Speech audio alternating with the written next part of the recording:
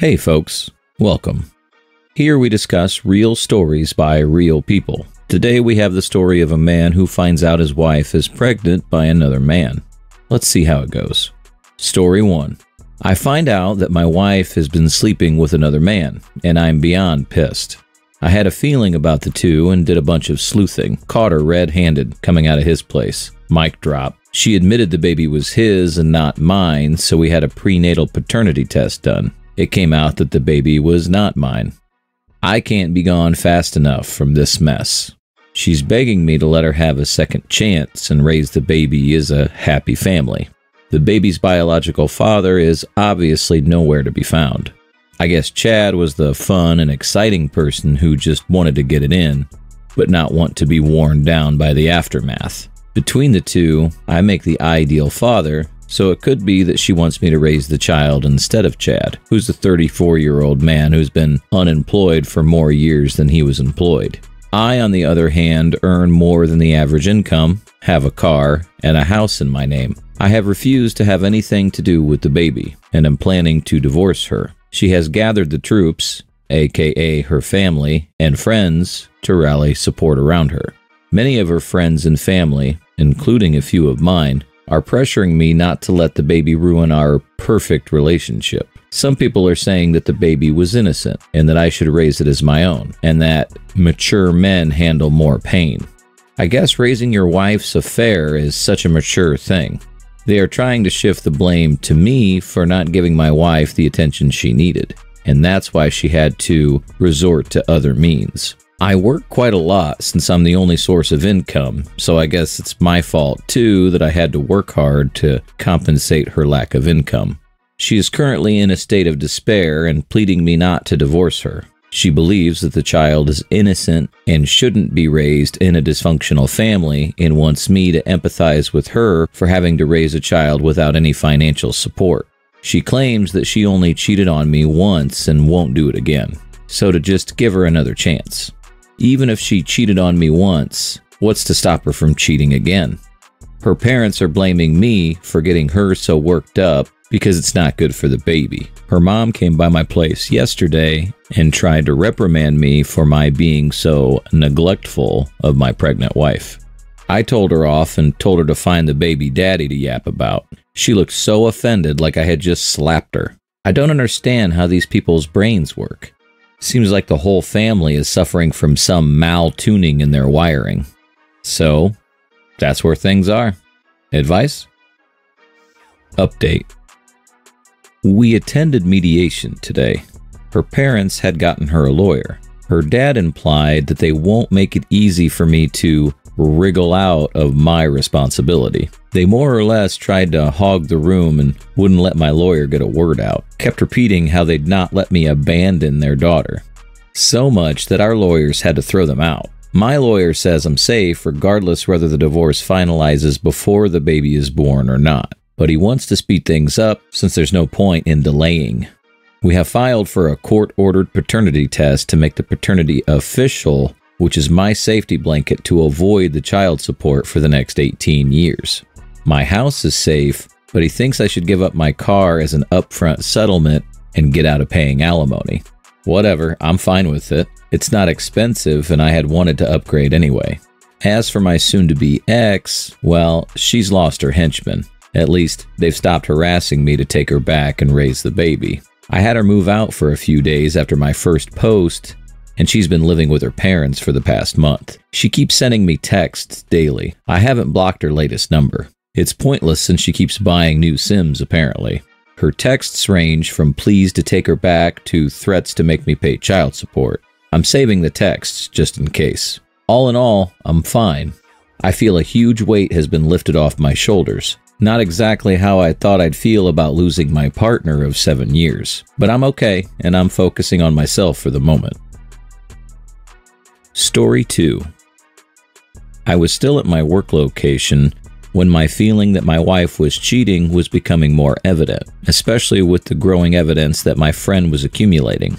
I contacted my brother and told him about my situation, and he said that I could use his cabin if the need arises. In fact, he told me to go to the cabin and he'll meet me there to go over the situation. He has a cabin in the San Juan Islands off the coast of Washington that he won from his divorce settlement a few years ago. I made it to the cabin, where my brother was already there along with two of my best friends. One friend is also divorced, and the other is a divorce slash custody attorney in my city. I called my wife and told her that my work was extended for a week, and I told her the date I would be home. She said that she was disappointed, but totally understood. I'm sure his was the shrew. So, after several days of crying, yelling, drinking a lot of beer, and jumping into Puget Sound to clear the head, I have a plan. It might be the right plan, or it may just blow up in my face. I have to let everyone know that I am loyal to a fault and will support anyone close to me until they do something that undermines my trust. I apply this philosophy to my family, friends, and spouse. I have supported all her desires, including college, her family, and their issues to her work. No, I am not a perfect person by far, but when it comes to commitment, especially in my marriage, I assume each partner should adhere to those commitments. She never mentioned being unhappy with me, and we do a lot of things together, including both of our hobbies. We have the same dreams and desires within our marriage, so this situation is from left field. Breaking her commitment to me by cheating, along with growing evidence of cheating with a coworker, are the cornerstones for my decisions. Just a side note yes, she cheated with a coworker. I wish her cheating was more dramatic instead of run of the mill cheating with the coworker. How expected. Just a random thought. So back to the plan. I arrived home late on the date I told her I would. She was asleep. She looked asleep when I came in with her computer on the bed, which was turned on. When I came out of the bathroom, the computer was gone. Spooky. I got up earlier than she did and went to work. When she came down to the kitchen, she saw that I left a stack of printed emails, four inches tall, from her correspondence with the coworker, with my wedding ring on top. Yes, it was an immature action, but it felt good to go down to that level, a little. As expected, I received a phone call. The gist of it her. What is this? Me. What? Her. What is with the email and ring? Me. Did you read your emails?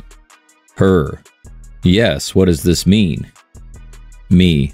This is my decision on your cheating. Her. Does this mean you're to leave me? Me. This is the road I'm taking. Her. Good. Fuck you. Then came the proverbial hang up. Knowing her, she probably wished she was on a landline so she would have the satisfaction of slamming the receiver down. But she didn't. Bummer. An hour later, she calls back. Her. I'm sorry for everything. Can we talk about this when you get home? Me. For the foreseeable future, I will be staying somewhere else. Her. How can we work it out if I never see you? Me. It's for the best right now. Her. Asshole. But before she could do another hang up, I mentioned to her that I have copies of all the emails and pictures of her infidelity that are ready to be mailed to her parents and work if she does decide to go ballistic while she's still upset. Fuck you. Then the hang up.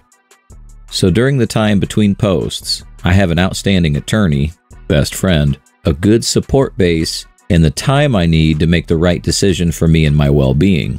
I am living with a friend, which unfortunately is close to my house, so I can see her comings and goings if I wish. Still, it is kind of creepy. I have gone 180 not only with her, but with her family as well. Their philosophy regarding committed marriages is subject at best. Both divorced twice. Both cheated. My attorney is handling the division of assets and the rest of the legal shit that makes attorneys a lot of money. I kid about him being an attorney, but he does make a lot of money. Anyway, this is what I predict I will need to deal with in the near future the reconciliation call, her parents' call, her sister's calls, her friend's call, and then appearing at my job. She has not done anything needed for a restraining order, in fact, she is the most good natured person I've ever met. Her actions have just gutted me, especially when her actions came from out of the blue. I'm confused where our marriage went wrong. I mean, we have ups and downs like everyone, but we always prided ourselves on working through these problems.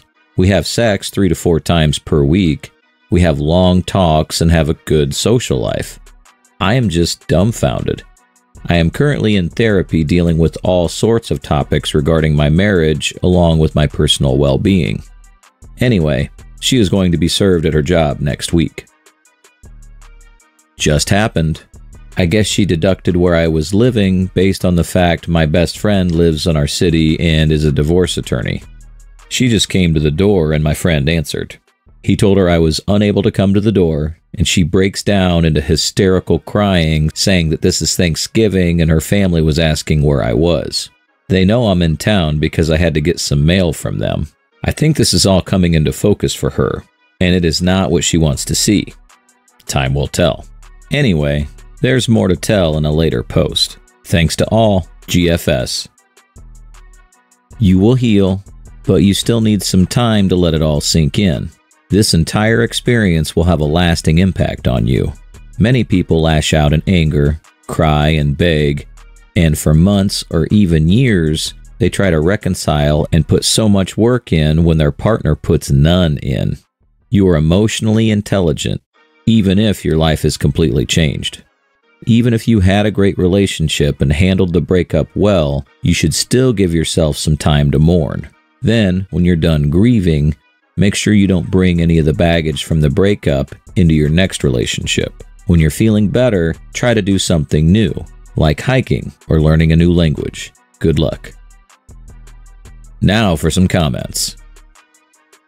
Expect a whole lot of waffling on her end. One week she begs forgiveness, and the next it's all out war. Habits are hard to break, and even a crappy marriage provides a sense of security and routine that is a jolt to the system when it implodes. As the other dude's life implodes and their affair craters, I wouldn't be surprised to see her promising the son to try and hang on to the familiar relationship she had with you. The depth of her lying and screwing a dude in your own home speaks to a diabolical level of fraud, detachment, and crassness that's hard to overcome. Was nothing sacred to her that she could let another man taint the marital bed that she shared with you? Same goes for him. What man thinks it's cool to screw in another guy's home? Wow, good luck. I don't know how I'd handle that. I was ready to forgive my ex, but she wouldn't let me. I forced myself to move out, and she was still seeing the AP. About two months later into the process, she asked to get back together because she finally realized her mistake. No remorse, mind you, just that she'd made a mistake like picking out the wrong kind of cheese for taco night. Damn it saved me. Because of distance and time, I was ready. Always a tough call when the spouse is all waterworks. Good job following your plan.